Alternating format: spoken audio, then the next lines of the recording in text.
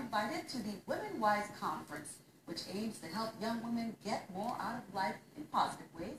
Women Wise will be held on St. Thomas on Wednesday, 6.30 p.m. at the CHS Auditorium, and then on Thursday on St. Croix, also at 6.30 p.m. at the Complex Auditorium. Attendees will be enlightened on conflict resolution, partner choice, life skills, and more.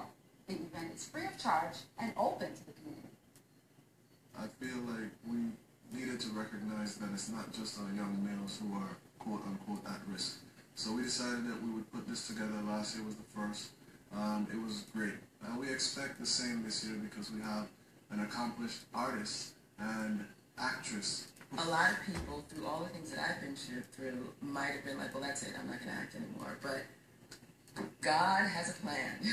you know, that's what it's come down to for me, that I've just continued to strive and, and pursue my dream despite all the obstacles that I've come across. And be sure to stick around. Your News 2 AccuWeather forecast is coming up next.